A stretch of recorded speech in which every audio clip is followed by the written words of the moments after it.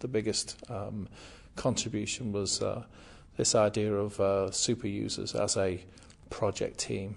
Um, so really, they they they selected the, uh, through interview the best people, the best and brightest people from all of the operating units around the group, and then brought them into uh, a central um, location, head office, and formed a formed the project team.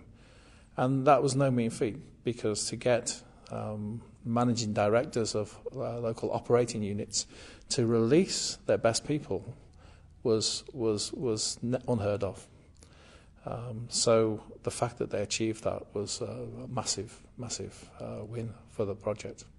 And then having worked through what is essentially four years of project, it would not have worked without that, without those people who were involved from um, the design phase or just after the design phase and knew knew the, the, the knew the system that we were implementing inside out, and uh, that knowledge was essential.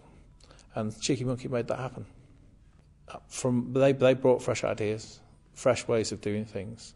Um, we'd never really had this sort of the concept of of team building before. Um, you know, and nor did we have the pro- the, the, the uh, idea of enjoying yourself in a project.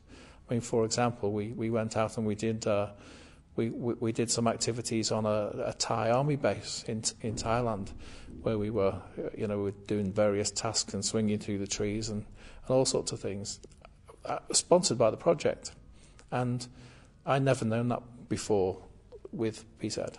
So it's those sorts of ideas that they brought along, which made the job en- enjoyable as well as hard work.